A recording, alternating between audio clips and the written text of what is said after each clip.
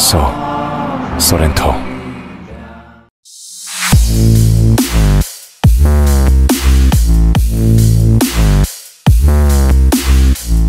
21년도, 22년도, 그리고 23년도 한국에서 가장 인기 있는 SUV라고 한다면 바로 이 차가 아닐까 생각을 합니다. 팔리기도 가장 많이 팔리고 대기 기간도 가장 긴 중고차 가격으로도 가장 좋은 가격을 유지하고 있는 기아의 소렌토 4세대 차량입니다. NQ4 옵션도 너무 좋고요. 지난 편에 개인 사업자로 엔카에서 본 중형 SUV로 렌터카를 승계를 해야 되겠는데 조건이 어떤지 좀 알고 싶습니다 해서 상담 동영상을 올려드렸었습니다. 한 번 했던 차를 다시 또 하는 것은 제가 잘 안 하는데 이번에는 정리하는 사람 입장에서 리스 승계와 받는 사람 입장에서 중에서 어떤 것이 베스트인지 한번 살펴보도록 하겠습니다.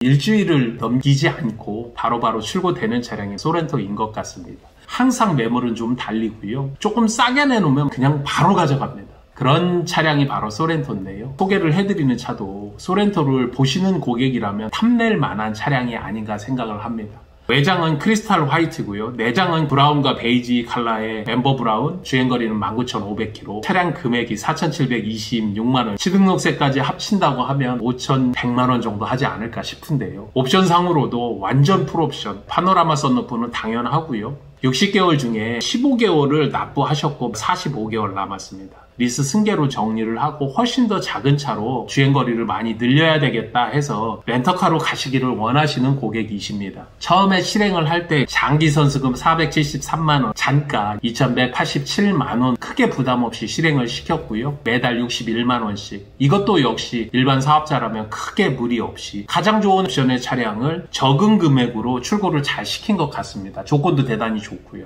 한 가지 아쉬운 점은 이자율이 한 9% 정도가 되더라고요. 지금 현 현재 기준으로 할부가 1등급 7.5%인데 그런 거에 비하면 15%에서 한 17% 사이 정도는 이자율을 더 받은 거는 아쉬움으로 남고요. 그 외에 모든 것들은 괜찮은 조건으로 나와 있는 차량입니다. 어떻게 정리를 하는 것이 최선일까요?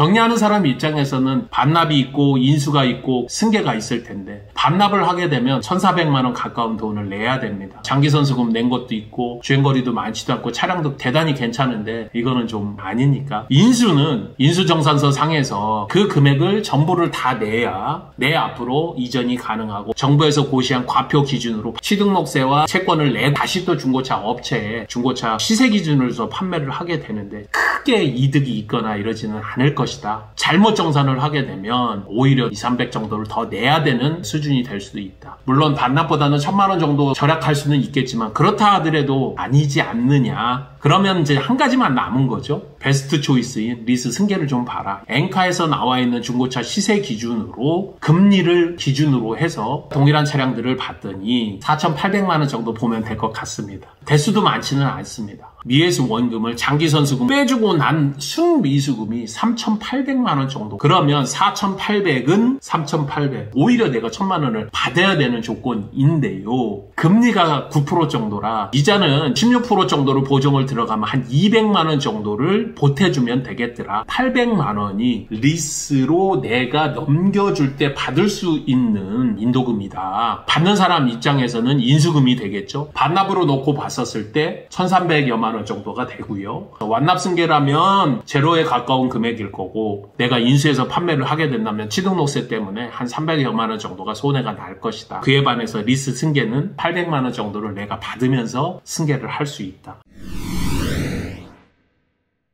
인수하는 사람 입장에서는 세 가지 방법이 있을 수 있겠죠. 현금으로 인수, 할부로 인수, 리스 승계로 인수. 4,800이라고 했었을 때 취등록세하고 기타 비용까지 합쳐서 10% 정도를 더해서 5,200 정도가 나올 것이다. 선수금을 리스 승계할 때 800만 원 넘겨줘야 되니까 동일한 조건으로 800만 원 빼고 할부를 7.5%로 48개월로 넣었더니 1등급 기준으로 한 6천만 원이 나오더라. 이 두 개 차이는 금리하고 이자 차이겠죠. 그러면 리스 승계로 볼 때는 내가 이 승계를 해서 내야 되는 총액을 기준으로 놓고 보면 된다. 매달 내는 61 곱하기 잔여 개월수 45개월. 플러스 잔존 가치 인수금 800만 원. 장기 선수금 남아 있는 금액을 빼주니 총액이 5,376만 원. 현금으로 살 때는 5,280여만 원. 할부로 살 때는 6천만 원 정도. 리스 승계로 할 때는 5,376만 원. 할부보다는 거의 600만 원 정도는 이득이에요. 그런데 현금하고 비교를 해봐요. 거의 100만 원 차이인데 현금은 내가 전액이 다 있어야 되지만 리스 승계는 당장에 내가 800만 원만 내면 되고 61만 원씩만 내면 된단 말이에요. 그렇게 45개월 동안 타고 마지막에 인수하면 되고 중고차로 완납 승계로 정리하셔도 되고 시세 기준으로 그러면 이전비는 안 들어갈 거란 말이에요. 두 개에서 100만 원 차이. 45개월에 100만 원. 그러면 1년에 한 25만 원 이자 낸다는 이야기예요.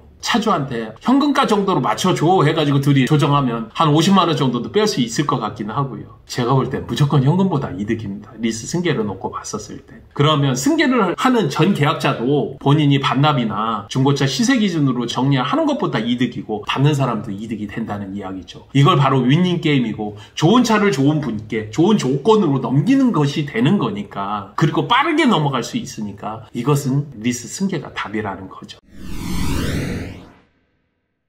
누가 보더라도 좋아하는 차, 디자인도 괜찮고 옵션도 괜찮고 중고차로 회전도 빠른 차, 칼라와 한국에서 가장 좋아하는 중형 SUV 기아 소렌토 4세대 출고 대기까지 신차 대기까지 대단히 많이 기다리는 신차급 차량을 거의 현금가에 인수를 한다는 것이 얼마나 메리트인가 이런 차를 내가 만약에 사업자로서 승계를 하게 된다면 1년에 2,300만 원씩 비용 처리하게 된다면 100만 원 정도 더 낸다 하더라도 충분하게 본인이 인수할 수 있는 차량이 아닐까 이런 차량들이 주위에 널려 있습니다. 저는 매일같이 10분에서 20분 정도에게 상담을 하고 있고 이런 차들을 바로 여러분들과 함께 나누고자 원하시는 분이 있다면 제가 설명을 드린 이 조건으로 승계를 시켜드리겠다 이야기 드리면서 이 채널이 있는 이유는 바로 여러분들이 있기 때문입니다. 문의해 주시고 또 제가 답변을 드리고 여러분들과 상담을 하면서 이 채널이 이루어지고 커나가고 있다는 점 항상 여러분들께 힘이 되도록 하겠습니다. 감사합니다. 정진환이었습니다.